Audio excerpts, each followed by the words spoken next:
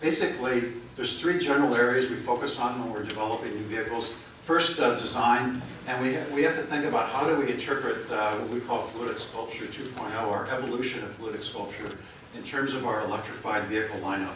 And so in this case, it's all about more technology, more sophistication, and, and, an effort to show the aerodynamic advantage of the car. So we reflect those elements in the design that you'll see in just a moment. You'll see it through front and rear changes, uh, you'll see it through lighting changes, and some other feature changes as well. And then the middle area is uh, efficiency and, and, basically the things that go around efficiency, so low carbon footprint. Uh, so we've done that through a powertrain that's 10% better in terms of efficiency compared to the outgoing. We did that by downsizing the engine. We did it by uh, adding direct injection. We did it by a number of other technology features that Glenn will talk about in a little while. Uh, and we've also uh, done it with a plug-in by having a class-leading all-electric driving range. And we have so much to talk about in the plug-in, and actually, for me, that's a really exciting product. And hopefully you'll feel that way too when you drive it today. Uh, so we want to we want to talk about the technology. The center part of the uh, of the graph here is a big part of the development of this car and the efficiency that comes with it. And then we want to talk about intuitive and thoughtful features as a key driver for the development of this car. It's not just about adding technology to the car, but adding technology that's useful, that helps people in terms of being convenient or reducing driver distraction, and things that are actually desired and wanted in terms of just daily use of the vehicle. Like forward collision warning, smart cruise control, works up to a full stop, lane departure warning, blind spot detection, uh, parking sensors, and we have also have a BlueLink app for the plug-in vehicle to help identify uh, charge opportunities. So when you look at our competitors, uh, this is the mid-size car, uh, both the hybrid and the plug-in hybrid. So for the hybrid, basically the Camry, uh, Fusion, and the Accord are its key competitors. Uh, and you'll see in a minute uh, how we compare against those cars. And then the plug-in side, uh, the Fusion Energi and the Accord plug-in hybrid are our key competitors. Keep in mind these are all mid-sized cars and either plug-in or hybrid variant for those mid-sized cars. Uh, talking just a moment again about exterior design, the idea was to really show through the changes for these cars how the technology is reflected in the exterior design that's included in the interior in terms of powertrain and safety and convenience. And so there was a focus on the elements that were changed to give kind of a high-tech and sophisticated feeling as you see here in these photographs.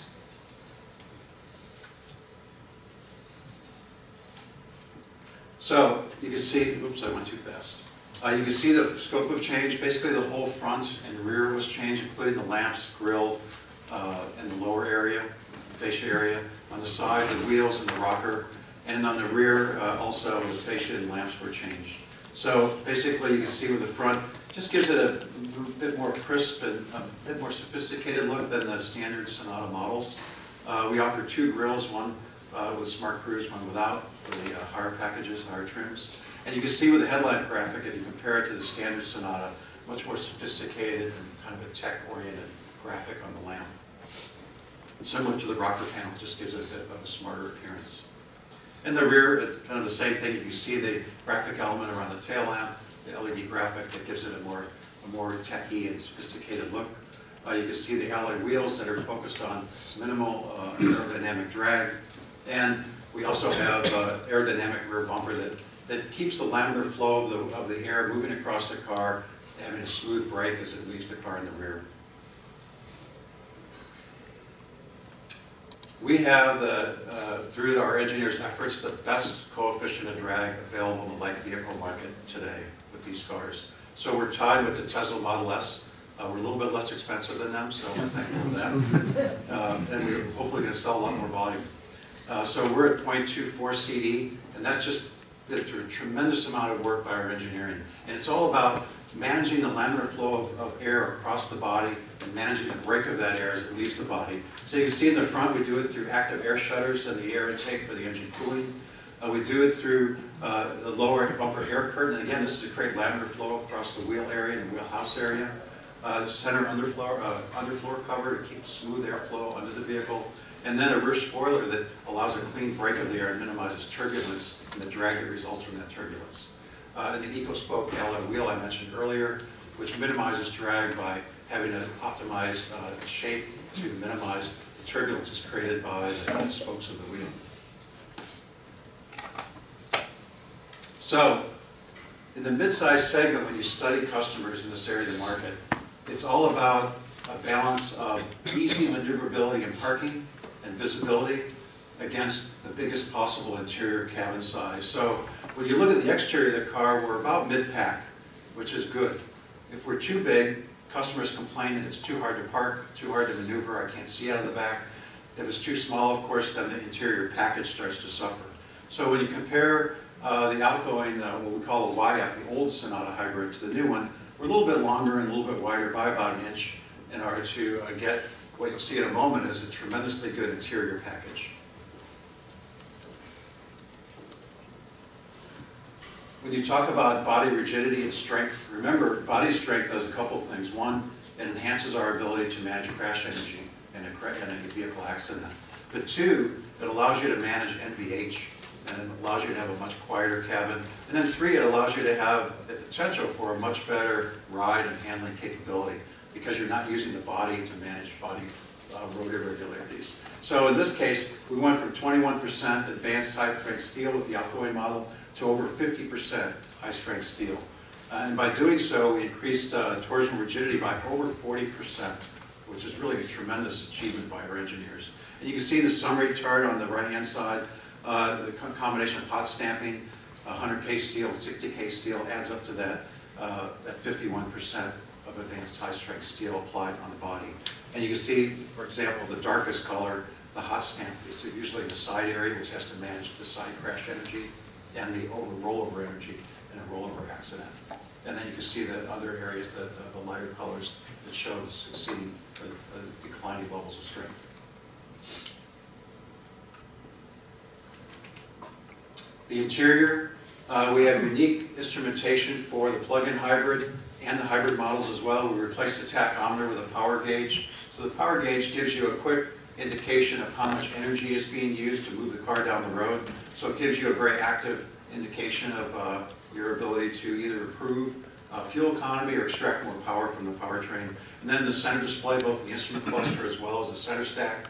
Uh, there's a lot of convenient information to monitor how you're doing in terms of fuel economy and power consumption. And of course, there's a charge indicator light for the plug-in model. So as I leave the vehicle, I can confirm that the cable's properly connected and the charger's been activated. So let's get to the good stuff. Uh, we have some great news in terms of the interior package. We start with best-in-class front seat headroom and legroom. And we get that just through very, very clever packaging in this product, uh, good use of the interior space, and good body structure design.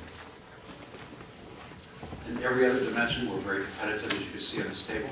And then you move to the rear and the overall interior cabin, and we have best-in-class interior cabin space, best-in-class cargo space, best-in-class overall interior space of the vehicle versus any of our competitors.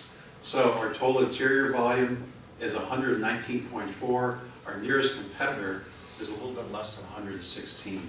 So we have the best trunk volume at 13.3, our nearest competitor at 13.1, and we have the best interior volume at 106.1, substantially higher than any of our competitors.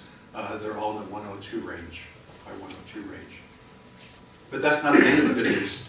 Uh, we also have a very well-designed uh, plug-in and hybrid battery and power management layout. And so compared to our other competitors, we're the only one that has a completely flat load floor, completely open pass-through, just like our gasoline model. So you can still carry oversized objects just like you can with the gasoline model with no compromise.